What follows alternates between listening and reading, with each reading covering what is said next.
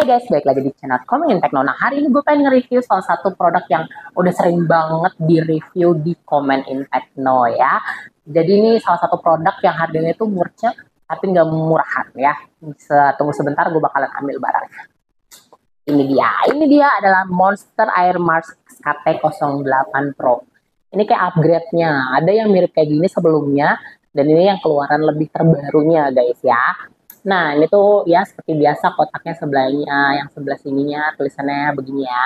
Ini ada tulisannya 20 hour playtime, 1.5 hour headphone charging time, terus dia juga ada game low latency gaming mode ya, terus juga di sebelahnya biasa ada monster game. Jadi rata-rata tuh uh, si TWS-TWS monster itu dia udah khusus gaming ya guys ya.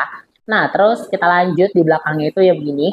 Ada tulisan-tulisan Chinese-nya ya guys. Ya gue nggak ngerti. Nanti gue bacain sedikit yang gue tahu yang dan udah gue gunain beberapa hari ya guys ya. Oke langsung kita buka aja produknya oke? Nah oke guys. Ini dia produknya. Kita buka dulu. By the way ini udah agak sedikit rusak karena pengiriman ya guys ya. Kita buka dulu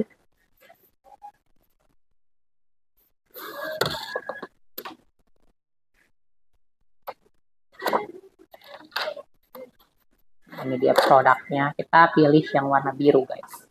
Dan biasa pasti dia ada kotak lagi dan ini isinya kalian bakalan dapet talinya. Terus juga kalian dapet kayak oh chargerannya. Dia uh, B2C ya guys ya. Terus pasti ada kitab-kitab segala macam gitu oke? Okay. oke okay, ini dia guys produknya. Kita buka modalnya seperti ini ya oke nah tinggal kita cabut. Nah, dia ada RGB nya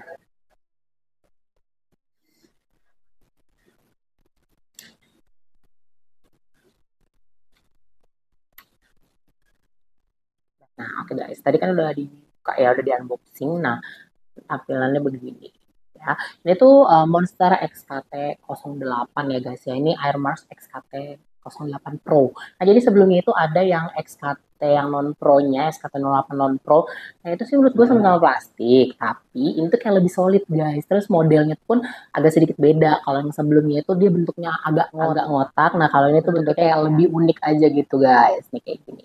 Dan ini kita milihnya tuh warnanya biru. Nih, ntar gue kasih tahu gambarnya di sini ya. Ntar gue kasih tahu bentuknya yang uh, Monster Air Max XKT 08 yang sebelumnya. Gue kasih tahu. Oke, nah gue mau jelasin sedikit tentang spesifikasi dari ini ya guys ya. Yang pertama ini dia tuh adalah uh, teknologi HiFi support yang membuat uh, suara musik lebih nyaman di telinga kalian pastinya ya.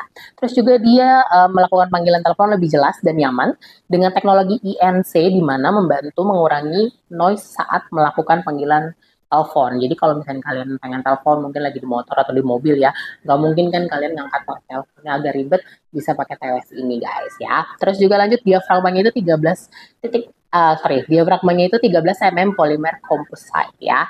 Terus support low latency 45 milisecond yang meminimalisasi delay mendukung sebagian besar perangkat Bluetooth dengan konsumsi daya lebih rendah. Dan ini tuh Bluetoothnya udah uh, eh, 5.3 ya guys ya. Terus juga dia itu uh, IP ratingnya IP rating 54 berarti kan udah tahan kayak keringat, debu gitu ya. Tapi jangan dibawa berenang juga, nggak mungkin ngapain juga lu berenang-berenang ke TWS ya. Oke lanjut. Terus juga ini kapasitas baterainya itu adalah tiga buat earbudsnya ya, itu 33 mAh buat kanan dan kirinya.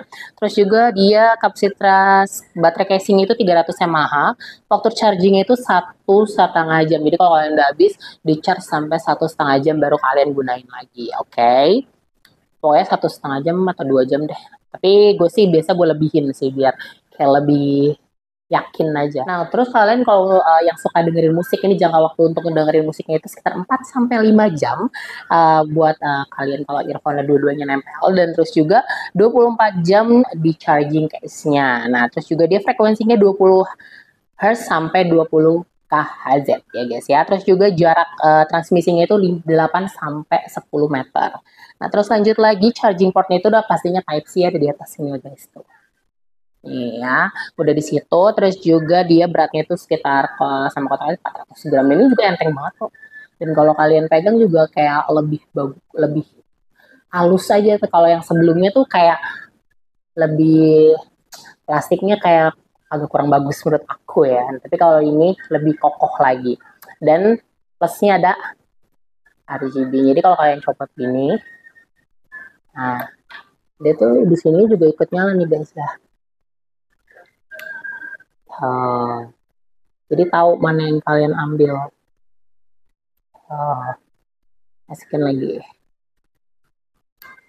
Nah, kayak gini ya guys ya. Nah, jadi buat kalian yang kepengen juga nih si Monster Airnos SKT 08 Pro ini kalian bisa langsung aja nanti cek di description box. Nanti bakalan gue taruh linknya. Pokoknya kalian langsung aja. Ini waktu gue beli itu sekitar 189 ribuan aja. Kadang suka ada promo guys harganya bisa jauh lebih oke okay, guys. Nah tadi sekian review singkat dari gue nah kalau menurut penggunaan gue pribadi selama beberapa hari ya guys ya.